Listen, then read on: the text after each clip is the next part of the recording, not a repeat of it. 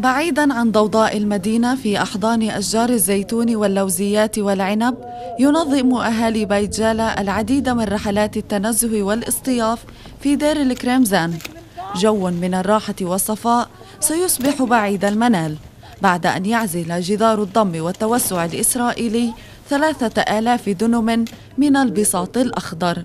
أصلا ما ظلش أراضي لبيت جالة غير هي منطقة كريمزان إذا مرك الجدار فيش أراضي. اراضينا يبعث الله بتروح.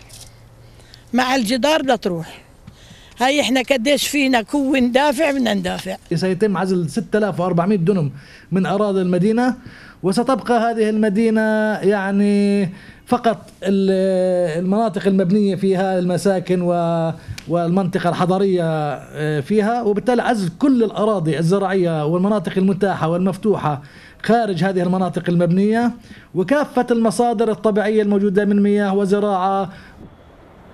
الكريمزان المهدد بالجدار بأوامر عسكرية. منذ العام 2006 والمبني منه كيلومترين. من أصل مخطط 11 كيلومترا يبتلع أراضي 58 عائلة ويحرم المنطقة كاملة من مواردها الطبيعية. هلا في 2013 السنة الماضية ردت لجنة الاعتراضات الالتماسات ورفضت طلبنا بإلغاء الجدار.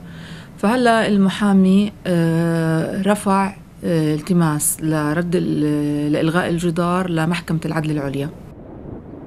إيقاف للتنمية المستدامة العمرانية والاقتصادية والاجتماعية تلقي بثقلها على دير الكريمزان نتيجة مخطط بناء الجدار المغلق بنظام البوابات ليمنع أهالي بيت جالة من الوصول إلى أديرة راهبات ورهبان الكريمزان التي تشكل محور حياة دينية واجتماعية مليئة بنشاطات الاحتفال والرياضة. يعتبر دير كريمزان هو يعني في سيدتنا مريم العذراء يعني كل سنة هناك احتفال بهذا العيد في شهر خمسة.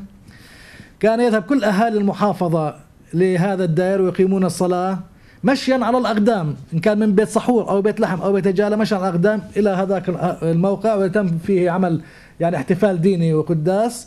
وبعده بعد القداس طبعا في ملعب كرة القدم كانت تتم هناك احتفالات فولكلورية ثقافية يعني من مختلف المؤسسات بالتعاون مع ديريك ريمزان الجدار الملتوي في الكريمزان الهادف للربط بين مستوطنتي جيلو وهآر جيلو القائمتين على أراضي بيت جالة امتداد للجدار القائم في محافظة بيت لحم.